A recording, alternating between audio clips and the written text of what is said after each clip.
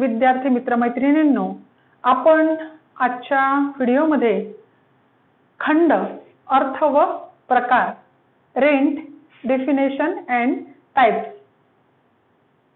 ह्याचा अभ्यास किंवा ह्याची जी चर्चा आहे ती करणार आहोत. खंड त्याला भाटक असंही म्हणतात.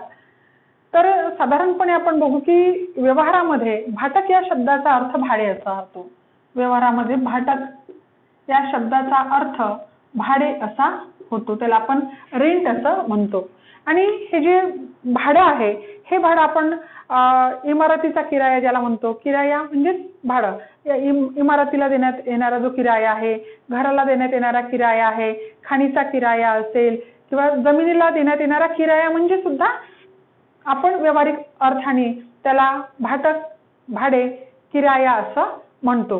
परंतु अर्थशास्त्राच्या दृष्टिकोनातून मात्र खंड किंवा भाटक या शब्दाचा जो अर्थ आहे किंवा खंड किंवा भाटक हा शब्द जो आहे तो वेगळ्या अर्थाने वापरला जातो. तर अर्थशास्त्राच्या दृष्टिकोनातून खंड म्हणजे काय? तर खंड म्हणजे भूमीच्या वापराबद्दल. भूमीच्या वापराबद्दल भूमी मालकाला किंवा भूमीपतीला दिला जाणारा जो मोबदला आहे त्या मोबदल्याला खंड असं म्हणतात. अर्थशास्त्रीय दृष्टिकोनातून खंड म्हणजे काय? तर खंड म्हणजे भूमीच्या वापराबद्दल भूमी मालकाला किंवा भूमीपतीला दिला जाणारा जो मोबदला आहे तो मोबदला म्हणजे काय होय? खंड होय. आता आपण खंडाची व्याख्या पाहू. खंडाच्या व्याख्यामध्ये आपण एक दोन व्याख्या या ठिकाणी बघू. तर त्याच्यामध्ये आपण पाहू रिकार्डोची व्याख्या. रिकार्डोची जी खंडाची व्याख्या आहे ती खंडाची व्याख्या आपण पाहू. तर भूमीमध्ये असलेल्या उपजत आणि अविनाशी गुणाच्या वापराबद्दल भूमीमध्ये असलेल्या उपजत आणि अविनाशी गुणाच्या वापराबद्दल भूमीतील उत्पादनापैकी भूमीतील उत्पादनापैकी जो भाग भूमिपतीला जो भाग भूमिपतीला प्राप्त होतो त्या भागाला खंड असे म्हणतात. तर भूमीचे जे काही एकूण उत्पादन असेल त्या भूमीच्या एकूण उत्पादनापैकी जो भाग कोणाला प्राप्त होतो? भूमीपतीला प्राप्त होतो किंवा भू- किंवा भूमीच्या मालकाला प्राप्त होतो. कशामुळे प्राप्त होतो? तर भूमीमध्ये असलेल्या उपजत आणि अविनाशी गुणांच्या उपयोगाबद्दल. भूमीमध्ये असलेल्या उपजत आणि अविनाशी गुणांच्या उपयोगाबद्दल वापराबद्दल भूमीला मिळणाऱ्या एकूण उत्पादनापैकी जो भाग कोणाला मिळणार आहे? भूमीपतीला मिळणार आहे. त्या भागाला काय म्हणायचं? खंड असं म्हणायचं. ही व्याख्या रिकार्डोनी केलेली व्याख्या आहे. त्यानंतर दुसरी जी व्याख्या आहे प्रोफेसर मार्शल यांची व्याख्या आहे. प्रोफेसर मार्शल यांनी सुद्धा अं, खंडाची व्याख्या केलेली आहे. ते असं म्हणतात की भूमी भूमी व इतर निसर्गदत्त देणगीबद्दल भूमी व इतर निसर्गदत्त देणगीबद्दल भूमीपतीला प्राप्त होणारा मोबदला म्हणजे खंड होय. काय म्हणतात? मार्शल खंडाची व्याख्या सांगताना तर भूमी व इतर निसर्गदत्त देणगीबद्दल भूमीपतीला किंवा भूमी मालकाला प्राप्त होणारा जो मोबदला आहे त्या मोबदल्याला काय म्हणतात? खंड असं म्हणतात. तर अशा पद्धतीने रिकार्डोची व्याख्या आपण खंडाची पाहिली आणि प्रोफेसर मार्शल यांची खंडाची व्याख्या आपण पाहिली. त्यानंतर आपण पाहू की खंडाचे जे प्रकार आहेत त्या खंडाच्या प्रकाराचा आपण विचार करू. तर खंडाच्या प्रकारामधला पहिला खंड आहे सकल खंड. त्याला एकूण खंड किंवा त्याला मिश्र खंड असं म्हणतात. त्याला आपण ग्रॉस रेंट असं म्हणतो. सकल खंड एकूण खंड त्याला मिश्र खंड किंवा त्यालाच आपण ग्रॉस रेंट असं म्हणतो. तर सकल खंड म्हणजे काय? तर भूमीतून उत्पादन काढण्यासाठी भूमीतून उत्पादन काढण्यासाठी येणारा जो खर्च आहे तो खर्च आणि भूमीतून मिळणारं जे उत्पादन आहे यातील जो फरक आहे यातील जी तफावत आहे त्या फरकाला काय म्हणतात? सकल खंड किंवा एकूण खंड किंवा मिश्र खंड असं म्हणतात. भूमीतून निघा निघणारे एकूण उत्पादन हो उणे ते उत्पादन काढण्यासाठी येणारा जो उत्पादन खर्च आहे. या दोघांमधला जो फरक आहे त्या फरकाला आपण काय म्हणू? सकल खंड किंवा एकूण खंड किंवा अं, मिश्र खंड असं म्हणू. भूमीतून उत्पादन काढण्यासाठी येणारा जो उत्पादन खर्च आहे तो खर्च आणि भूमीतून येणारं जे एकूण उत्पादन आहे यातील फरक म्हणजे सकल खंड होय आणि म्हणून सकल खंडाची आपण व्याख्या सूत्र पाहू की सकल खंड जर काढायचा असेल तर सकल खंड काढायचा असेल तर आपण काय म्हणू की एकूण उत्पादन भूमीतून निघणारा एकूण उत्पादन उणे एकूण उत्पादन खर्च. एकूण उत्पादन खर्च. तर आपल्याला काय मिळणार आहे? एकूण उत्पादनातून एकूण उत्पादन खर्च जर वजा केला तर आपल्याला काय मिळणार आहे? सकल खंड मिळणार आहे. एकूण भूमीला एकूण उत्पादन किती झालं? आणि त्या भूमीला ते उत्पादन करण्यासाठी किती खर्च आला? तर एकूण उत्पादन उणे एकूण उत्पादन खर्च जर केला तर काय मिळेल आपल्याला? सकल खंड असे मिळेल. की समजा देश समजा एका भूमीच्या तुकड्यावर जे एकूण उत्पादन झालं असेल ते समजा भूमीला वीस हजार रुपयाचं उत्पादन झालं. वीस हजार रुपये किमतीचं काय झालं? उत्पादन झालं. उत्पादनाचे आपण पैशामध्ये मूल्य काढलं की समजा दहा क्विंटल उत्पादन झालं असेल आणि या हे दहा क्विंटल उत्पादन अं, प्रति क्विंटल दोन हजार रुपयांनी प्रति क्विंटल भाव असेल त्या उत्पादनाचा दोन हजार रुपये. तर या ठिकाणी दहा क्विंटल आणि दोन हजार रुपये भावाने ते विकलं असेल तर काय झालं? वीस हजार रुपये हे जे आहे ते त्या भूमीला होणार काय आहे? एकूण उत्पादन आहे. आणि जर त्या भूमीला येणारा जो खर्च असेल अगदी अं, जेवढं काही त्यांनी बी बियाण्यांपासून त्याच्या मशागतीपासून तर मालाच्या विक्रीपर्यंत जो काही खर्च आला असेल त्याला आपण एकूण उत्पादन खर्च असं म्हणतो. हा एकूण उत्पादन खर्च जर किती असेल बारा हजार असेल तर त्यातून बारा हजार खर्च केला असता उर्वरित जो भाग आहे आठ हजार रुपये.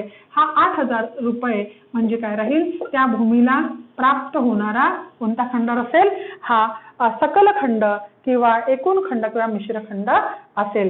तर अशा पद्धतीने सकल खंड आपण पाहिला. त्यानंतर दुसरा आहे आर्थिक किंवा शुद्ध खंड. आर्थिक किंवा शुद्ध खंड हा खंडाचा दुसरा प्रकार आहे. तर आर्थिक खंड हे सकल घटकातच. आर्थिक खंड आहे हा कशामध्ये समाविष्ट असतो? या एकूण खंडामध्येच आर्थिक खंड किंवा शुद्ध खंड जो आहे तो समाविष्ट असतो. आर्थिक खंड हे सकल भाटकामध्येच आपल्याला काय दिसतं? समाविष्ट असल्याचं दिसतं. तर शुद्ध खंड किंवा आर्थिक खंड म्हणजे काय? तर भूमीमध्ये असलेल्या उपजत आणि अविनाशी गुणांच्या उपयोगाबद्दल. भूमीमध्ये असलेल्या उपजत आणि अविनाशी गुणांच्या उपयोगाबद्दल देण्यात येणारा जो मोबदला आहे किंवा उपयोगाबद्दल मिळणारं जे उत्पन्न आहे त्या उत्पन्नाला काय म्हणतात? आर्थिक किंवा शुद्ध खंड असं म्हणतात. आर्थिक किंवा शुद्ध खंड म्हणजे काय? तर भूमीच्या उपजत आणि अविनाशी जे गुण आहे किंवा जे नैसर्गिक गुण आहे त्या नैसर्गिक गुणांच्या वापराबद्दल किंवा उपयोगाबद्दल मिळणारं जे उत्पन्न आहे त्या उत्पन्नाला आर्थिक किंवा शुद्ध खंड असं म्हणतात. हे आर्थिक किंवा शुद्ध खंड कशामध्ये समाविष्ट असतं? सकल एकूण किंवा मिश्र खंडामध्ये समाविष्ट असतं. आणि तिसरा खंड आहे प्रसंविधा किंवा त्यालाच आपण करारी खंड असं म्हणतो. त्यालाच आपण कॉन्ट्रॅक्ट रेंट असं म्हणतो. तर प्रसंविधा खंड किंवा करारी खंड म्हणजे काय? तर आपण पाहतो की प्रत्यक्ष व्यवहारामध्ये जमिनीचा मालक. जमिनीचा मालक. आणि त्याची जमीन कसणारा जो असतो त्याला आपण कास्तकार म्हणतो किंवा त्याला आपण कूळ असं म्हणतो. ना? तर जमीन प्रत्यक्ष व्यवहारामध्ये जमिनीचा जो मालक आहे तो आणि ज्याला जमीन कसावयास दिलेली आहे त्याला आपण कास्तकार किंवा कूळ असं म्हणतो? यांच्यामध्ये करार होतो. यांच्यामध्ये काय होतो? करार होतो की जमीन त्या कराराने जी आहे ती कराराने व्हायला दिली जाते कुळाला. तर यांच्यामध्ये करार होऊन जो खंड ठरतो त्या खंडाला म्हणायचा करारी खंड. जमीन मालक आणि ज्याला जमीन कसावयास देतो आहे त्याला आपण कुळ म्हणतो.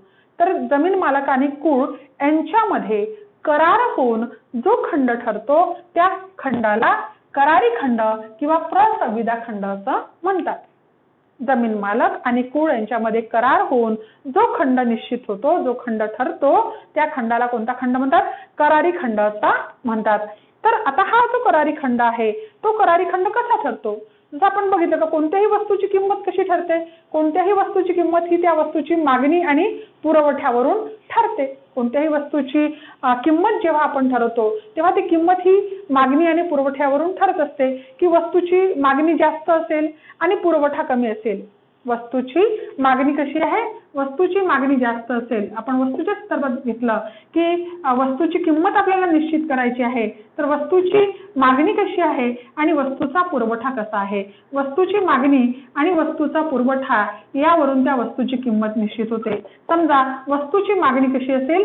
जास्त असेल. वस्तूची मागणी जास्त असेल आणि वस्तूचा पुरवठा जो आहे तो पुरवठा कसा असेल? कमी असेल. तर साहजिकच त्या वस्तूची जी किंमत आहे ही किंमत कशी राहणार आहे? त्या वस्तूची किंमत ही जास्त राहणार आहे. कारण मागणी जास्त आहे आणि पुरवठा कसा आहे? कमी आहे. अशा वेळी वस्तूची जी किंमत ठरणार आहे ती किंमत जास्त राहील. या उलट जर वस्तूची मागणी कमी असेल वस्तूची मागणी कशी असेल? कमी असेल. आणि वस्तूचा पुरवठा जो आहे तो पुरवठा कसा असेल? जास्त असेल. तर अशा वेळी किंमत जी आहे वस्तूची ती काय राहील?